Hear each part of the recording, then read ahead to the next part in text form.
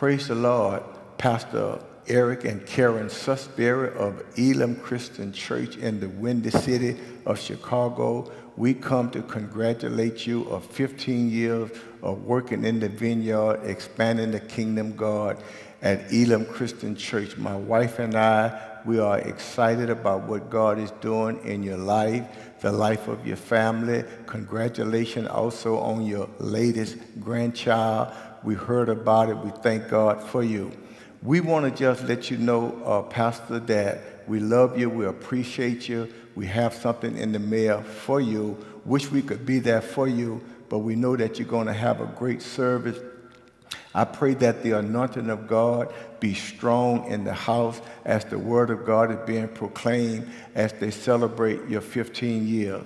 Uh, look forward to you coming and being with us in Baton Rouge this year, you and your wife, and we're going to have a great time. When you come, we have some crawfish and some crawfish etouffee, and we have some frog legs, and we have some lizard. No, we don't eat lizard down here, but we have some good things in store for you all. So, from our heart and the heart of our family, we like to say to you, Happy anniversary to the Susberry.